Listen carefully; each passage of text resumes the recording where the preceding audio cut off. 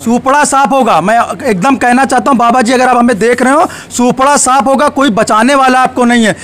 पश्चिम से लेकर पूर्वांचल तक कोई आपको बचाने वाला नहीं है पूरा सुपड़ा साफ़ होगा। ये जातिवाद धर्मवाद की राजनीति करने वाली भाजपा सरकार है।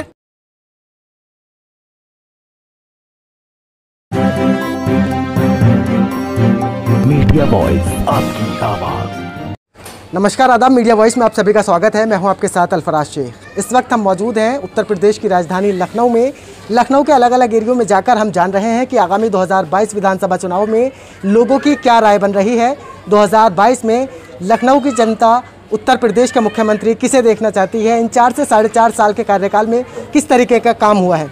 इस वक्त हम लखनऊ के खदरा इलाके में मौजूद हैं। यहाँ से हम होते हुए गुजर रहे थे तो हमने देखा एक बैनर के तले कुछ लोग यहाँ पर बैठे हुए हैं। और इनकी मांग है कि ये जो पूरा सत्तर मीटर का शायद यहाँ पर नाला है, हमें ऑफ़ कैमरा ये बता रहे थे।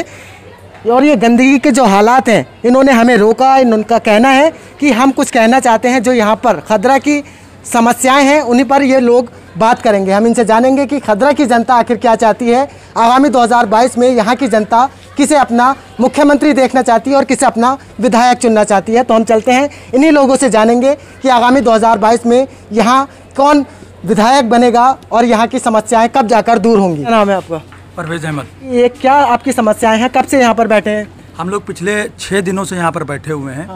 और हमारी में मुख्य समस्या जो है वो ये नाला है खुला नाला।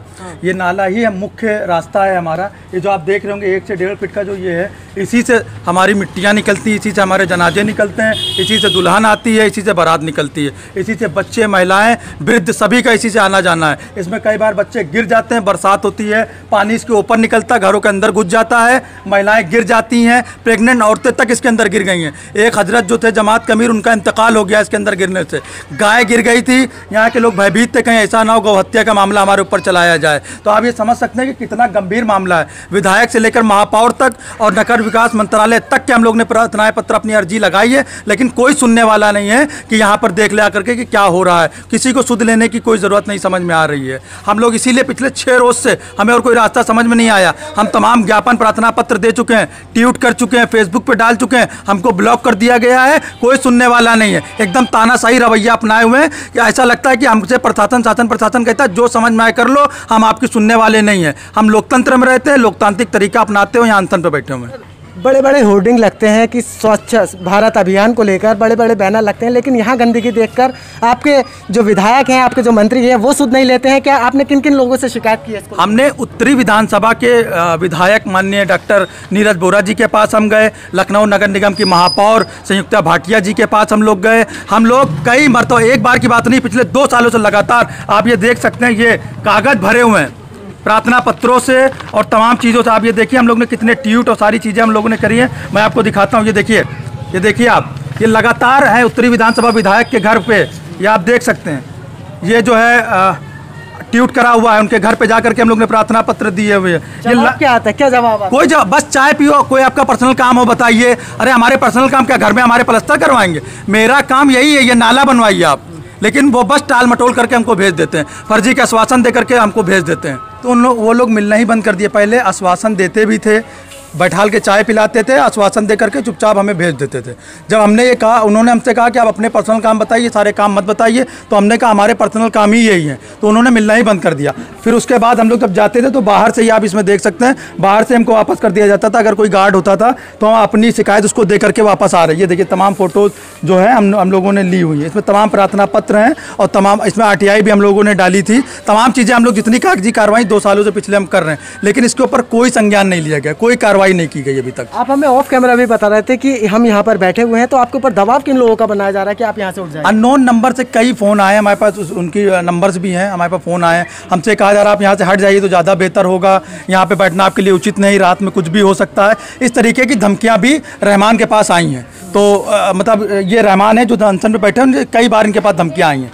रहमान। मैं रहमान जी से जानना चाहूँगा। रहमान जी रहमान जी हमें ये बताइए कि आपके पास किन लोगों की धमकियाँ आई हैं कि यहाँ से उठ जाइए? कौन लोग आपके ऊपर दबाव बना रहे हैं?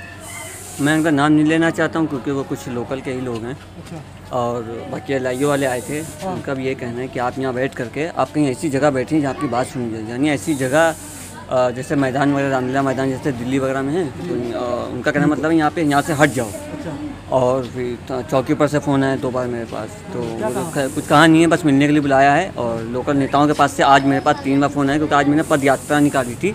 वार्ड कदम रसूल वार्ड नंबर अस्सी में जो बड़े बड़े नाले हैं जहाँ नहीं नाले नहीं बने हैं पद यात्रा निकाली थी। तो उससे पहले सुबह में मेरे पास फ़ोन आया। तो दो बजे निकालनी थी पद यात्रा तो बारह बजे का फ़ोन आया कि आप यहाँ पे एक बार आके मिलिए। तो लोकल नेता जो है बुलाना चाह रहे हैं। मिलना मिल लीजिए आप एक बार उनसे। लगातार दावे वादे किए जाते हैं, चाहे वो मोदी सरकार हो या योगी सरकार हो, गड्ढा मुक्त के योगी सरकार ने दावे किए थे कि सरकार बनते के साथ ही मुझे गड्ढा मुक्त चाहिए। तो आपको नहीं लगता ये गड्ढा मुक्त सबसे पहले इन चीज़ों को देखिए, ऐसा ये जो सरकार चाहे सेंटर की हो और चाहे ये प्रदेश की सरकार हो, ये भाजपा सरकार सिर्फ़ दावे ही करती है। वो चाहे पंद्रह लाख का हो, बुलेट ट्रेन का हो, सौ स्मार्ट सिटी का हो, दो लाख दो करोड़ नौकरियों का हो, चाहे बीस लाख करोड़ रुपया विदेशों से लाने का हो, ये सिर्फ़ हवे हवाई दावे ही कर सकते हैं। हकीकत में इनके पास हिंदू, मुसलमान, दलित, ब्राह्मण और अगला पिछड़ा इनके पास यही है। अभी भी आप देख सकते हैं कि ये सिर्फ़ और सिर्फ़ आखिर में जब छः महीने इनके बचे हैं तो ये जनसंख्या नियंत्रण कानून लेकर के आए हैं। ये सिर्फ़ इसलिए करते ताकि मुख्य मुद्दे जो हमारे, सड़क, बिजली, पानी स्वास्थ्य, शिक्षा, चिकित्सा, इस पर हम बात ना करें। जो बात अभी हम जिसके लिए बैठे हुए अनशन पर, हम, हमारी चप्पलें घिस गई, इसके ऊपर सुनवाई ना हो। इन मुद्दों से भटकाने के लिए नौजवान रोज़गार की बात ना करें, छात्र अपनी फ़ीस की बात ना करें, हॉस्टल की बात ना करें, मेस की बात ना करें, इससे भटकाने के लिए सारे काम ये लोग करते हैं। क्या लगता है सर, नज़दीक है, छः से सात महीने का वक्त बचा है चुनाव को लेकर? क्या लगता है बदलाव देख रहे हैं युवा उत्तर प्रदेश का ये दोबारा से सीएम योगी विराजमान? सुपड़ा साफ़ होगा, मैं एकदम कहना सुपड़ा साफ़ होगा, मैं एकदम कहना चाहता हूँ बाबा जी अगर आप हमें देख रहे हो, सुपड़ा साफ़ होगा, कोई बचाने वाला आपको नहीं है। जो आपने आफत मचाई है, एकदम ऐसा लगा कि उत्तर प्रदेश में कोई सरकार ही नहीं है। कोई सरकार नहीं, एकदम यतीम आपने उत्तर प्रदेश को कर दिया। बच्चे जो है, क्या नाम, बिलबिला रहे थे हॉस्पिटल के बाहर। माए अपने बच्चों को गोद में लेकर के मरा हुआ, लाश लेकर के रो रही हैं। ऑक्सीजन की कमी थी, ऑक्सीजन की कमी थी, नर्स, डॉक्टर की कमी थी। अगर आप शमशान घाट चले जाइए, लकड़ी नहीं मिल रही थी, लाइनें लग रही थी गंगा किनारे लाशें कुत्ते नोच रहे थे। ये हालत आपने कर दी है। पश्चिम से लेकर पूर्वांचल तक कोई आपको बचाने वाला नहीं है, पूरा सुपड़ा साफ़ होगा। मुद्दा ये नहीं, मुद्दा है सड़क शिक्षा, स्वास्थ्य, चिकित्सा। ये मुद्दा इस पर बात की जाए। जो विकास के मुद्दे होते हैं उत्तर प्रदेश में, जनता उस पर वोट देती है, जातिवाद में बटेगी इस बात देखिए, जातिवाद में कहने को तो मतलब सही बात है कि उत्तर प्रदेश में जातिवाद के आधार पर बहुत चुनाव होते हैं, लेकिन इस बार जातिवाद से ऊपर उठ करके चुनाव होंगे। उसकी वजह यह है कि जनता बहुत त्रस्त है, बहुत परेशान है। जनता इस बार उसको खाने का रोजी रोटी जो है, तलाश करने के लिए मुश्किल हो गई। कई एन के माध्यम से घर की रोजी रोटी उनकी चली है, उनको भूखे मरने की नौबत आ गई। अब वो जातिवाद, धर्मवाद, क्षेत्रवाद भाषावाद नहीं देखेंगे। अब वो अपने जो मूल उनके मुद्दे हैं, वो उसके ऊपर ध्यान देंगे उसके ऊपर वोट करेंगे।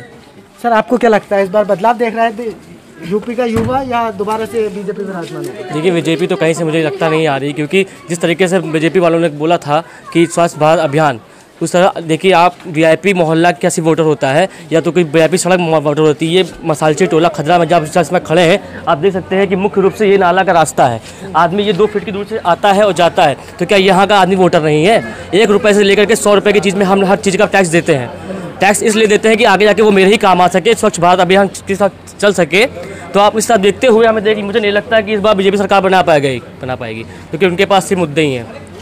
भड़काने के की लिए। मांगे पूरी नहीं होती आगे का क्या है मतलब रणनीति अभी तो मैंने आज पद यात्रा निकाली है कल हमारा कल या परसों मैं देखता हूँ दोस्तों से मशवरा कर लूँ और मैं प्रेस कॉन्फ्रेंस करूँगा और होता है तो उनके सामने मैं नाले में कूदूँगा नाले में बैठ करके हम अनशन करेंगे। मैं तो चाहता हूँ कि सभी भाई की बात सुनी जाए जल्द से जल्द क्योंकि ये जो 80 फीट दूरी का लमसम नाला है। ये बहुत दिनों से सा- छः से सात दिनों से बैठे हुए हैं। बीच में भी बीमार हो गए थे।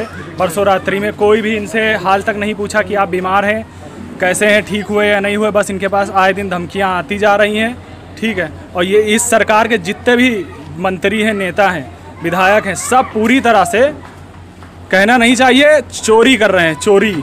जितना भी धन आया था, विधायक निधि का हो, कोई भी हो बता रहे हैं, मेरे पास निधि नहीं है, पैसा ख़त्म हो चुका है, मैं विकास नहीं कर सकता। पर उनको जनसंख्या नियंत्रण कानून लाना है, वो ज़रूरी है, ठीक है, और उनको बुलेट ट्रेन चलानी है। कौन सा गरीब आदमी है जो बुलेट ट्रेन में घूम पाएगा? कोई बता पाएगा? कोई नहीं बता पाएगा। बस ये जातिवाद, धर्मवाद की राजनीति करने वाली भाजपा सरकार है, इसका पूरी तरह के सुपड़ा साफ़ होने वाला है, समाजवादी सरकार फुल बहुमत से आने वाली है। और अखिलेश भैया फिर से एक बार यूपी के मुख्यमंत्री बनने जा रहे हैं। तो इस वक्त हम खदरा के एरिया में मौजूद थे। खदरा की लोकल जनता हमारे साथ मौजूद थी। इनका जो समस्या थी वो आपने जाना है कि यहाँ की समस्या कब से है और ये कब से प्रदर्शन यहाँ पर कर रहे हैं। और इस, इस पूरी रिपोर्ट पर आपकी क्या कुछ राय बन रही है तो हमें कमेंट करके ज़रूर बताइए। देखते रहिए मीडिया वॉइस शुक्रिया।